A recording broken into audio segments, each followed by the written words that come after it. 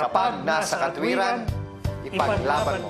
Pangalan ng mga tao, lugar at organisasyon na may kaugnayan sa kaso na tampok sa palabas na ito ay pinalitan at binago.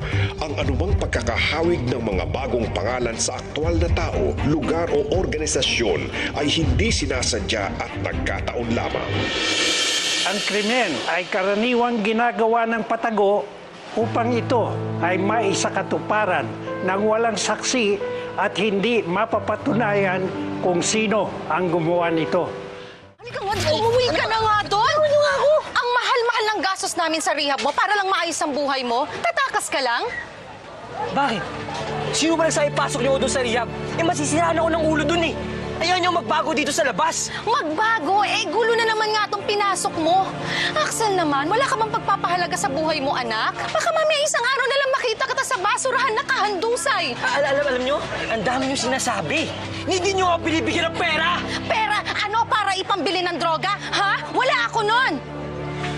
Visit na buhay to!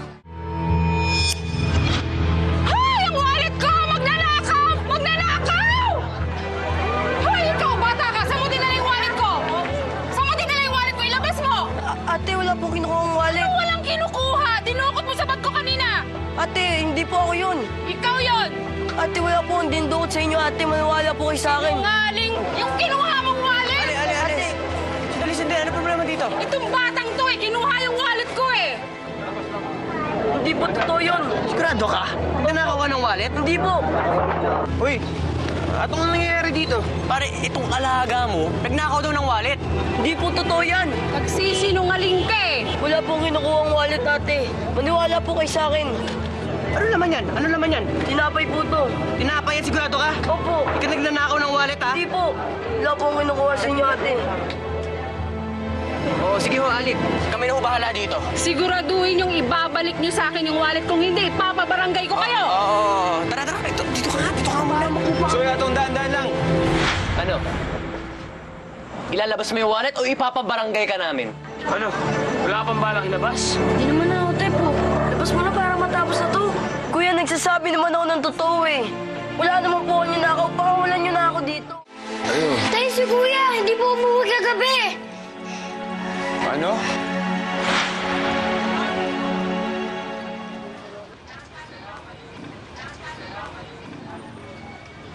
Tao po. Tao. Si Ote po ba nandito? Sino ho sila? Ah, ako yung tatay ni Otep.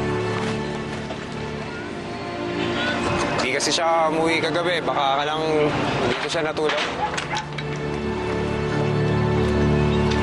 Tatay po kayo ni Otep. Oh. Eh, ang alam ko ho, umuwi na yun pagkasara ng peri eh. Baka naman gumala lang yun. Ganun ba? Sige, pakisabi niya lang na dumaan yung tatay niya. Sige ho. Nais kayong ihingi ng tulong, maaari kayong dumulog dito sa aming istasyon dito lamang sa DC CLAM Radio. Dito yan sa IMF Building, Sikatuna Road. Kanina pa ako nakikisip Hindi nga po kayo pwedeng papasukin, sir. Wala nga po ngayong ID, sir. Sir, kailangan ko makausap. Sir! Sir! Sino po si Randy Malyari? Ako nga. Boss, pasensya na po. Kanina pa po siya namumulit, sir. S- Sir, ako si Ronnie Torres. Sir, hingi sana ako tulong sa inyo eh. Di, di ko na kasi alam gagawin ko, sir. eh. Natatakot po ako. Ganun ba? Ah, guard ako ng bala dito. Halika, sumama ka sa akin sa loob. Salamat, sir.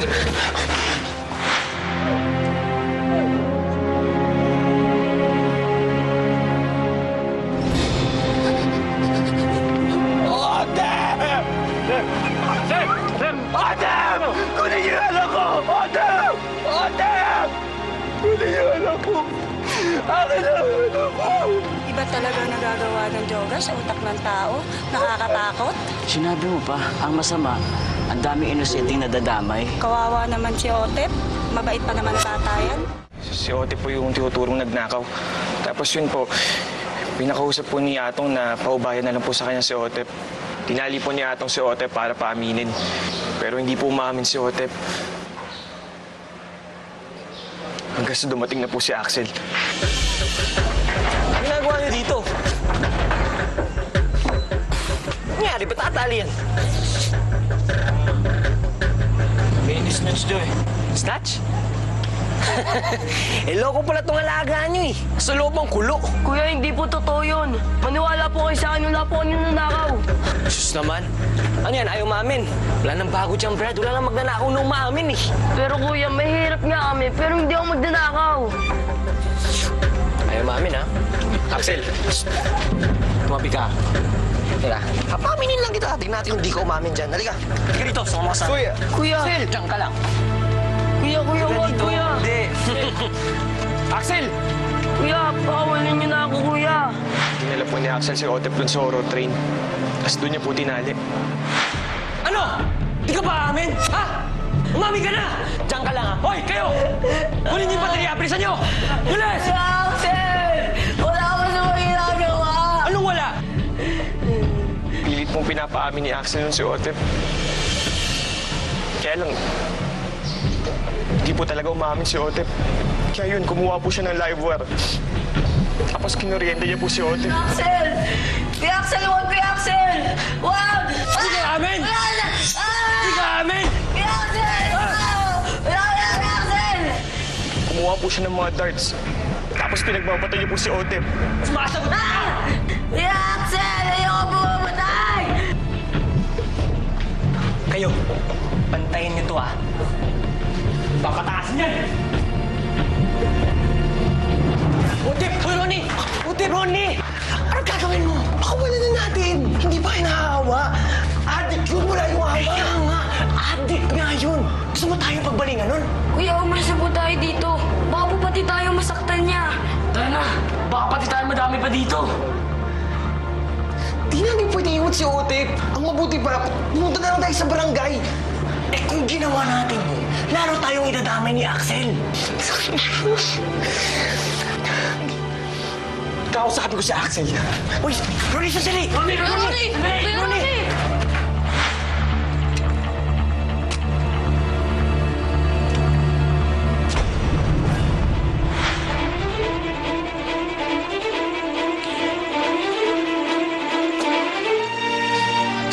Tapos hinanap ko po si Axel. Laking gulat ko po nung nakita ko siya naghuhukay. Sabog na sabog po siya sa droga nun. Kaya nagawag po ako. Otip! Tol, si Otip! Tol, si Otip! Si Otip! Tol, narito ko si Axel naghuhukay! Tara, Tol, baka wala si Otip! Ronnie! Ronnie! Ronnie! Ronnie! Huwag mo makisali, Ronnie! Otip! Ronnie! Ronnie, huwag ka makisali! Takbo! Takbo! Bumalik ka, Otip! Bumalik ka! Otip! Hoy! Saan ka pupunta? Hoy! Wala kayong kwenta! Tatakasa kayo ng bata, oh! Masok ka, Ronnie! Masok ka! Ronnie, hayaan mo na, Ronnie! Ronnie! Ronnie, hayaan mo Axel! Ronnie! Axel, tama na! Hoy! Tumahimik ka, ha? Kundi susunod kita dito! Ah! Ah! Otep, takbo! Gaganti ka pa? Ha? Ha? Ano ba? Wala mo tayong gagawin! Hindi po si Otep doon. Tinapos po ng dos por dos. Wala pong magawa si Otep. Tama na oh. Hindi natin din sa ospital niyan. Ano? Natutuwag kayo? Tandaan nyo, kayong nagsimula nito. Tinatapos ko lang.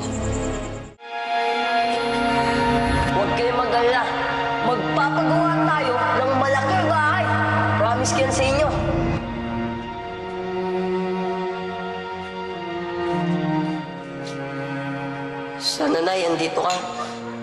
Di sana ganito si tatay. Oh, makikinig kayo mamaya sa teacher nyo, ha?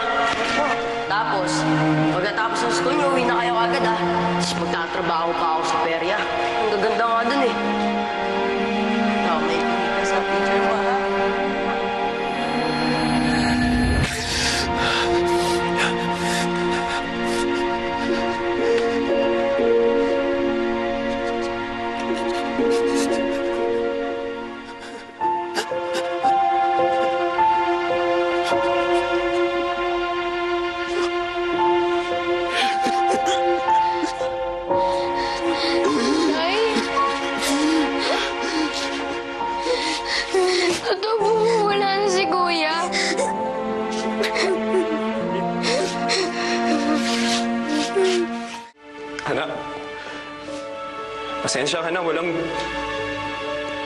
Pambili si tatay ng bagong uniforme.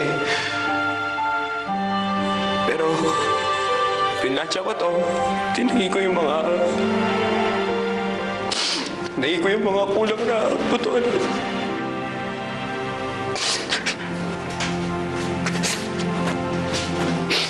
Anak. Anak, patawarin niyo si tatay, ah. Patawarin niyo ko na naging matigas ako sa inyo. Ayoko ko kasi makita niyo yung kainahan ko, eh. Patawarin mo ako. Kasalanan ko to, eh. Nuo ko nung pinatay yung biktima. Pero wala akong kinalaman sa nangyaring krimen. Sila! Sila ang totoo pumatay kay Otep. Sa katunayan niya ho, sinubukan ko silang pigilan eh. Pero pinagbantaan nila ako na idadamay daw nila ako. At kung totoo yung binibintang nila sa akin, paano ko magagawa yung krimen kung nandun sila? Mag-isa ako. Lima sila oh. At kung talaga nasaksihan na pinatay ko si Otep, bakit hindi mo sila nagsumbong agad? Sinungaling ka nga, ikaw huwag yung paniwalaan niya. Pinatay mo anak ko, hayop ka! Pinatay mo siya! Order in the court! Dario, tama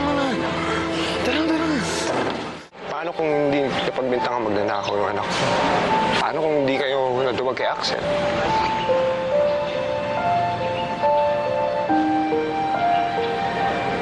Paano kung nakahingi kayo kagad ng tulong? Alam niyo, tuwing naiisip ko yun, galit na galit na galit na galit ako. At yung galit na yun, hindi ko alam kung kailan mawawala.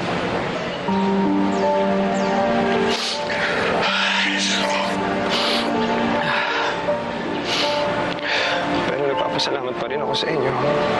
Dahil hindi niyo hinayaang manahimik ang katotohanan.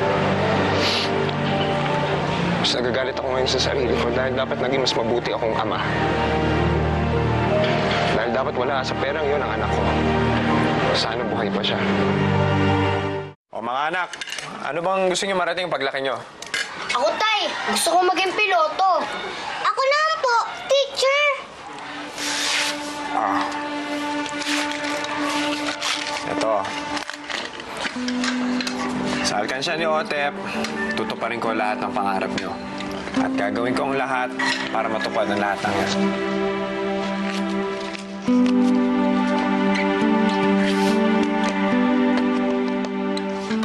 O, Aaron. Lagyan mo ng salta, ha?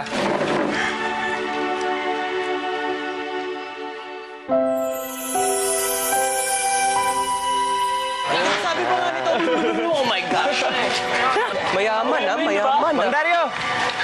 Oh! Oh, buti naman, bumalik na kayo sa eskwela. Sana magtuloy-tuloy na yan, ha? Opo. Sabi po kasi ni Otep, ang kabataan ng pag-asa ng bayan. Ah, talaga? Ha? Di si Kuya Jose Rizal.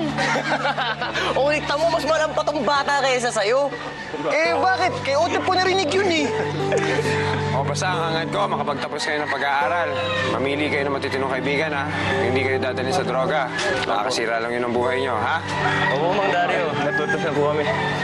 O, paano? Sabay-sabay na tayo? Tara! Tara!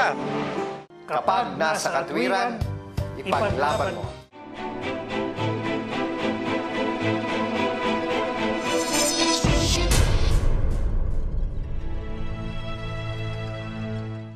Kapag nasa katwiran, ipaglaban mo.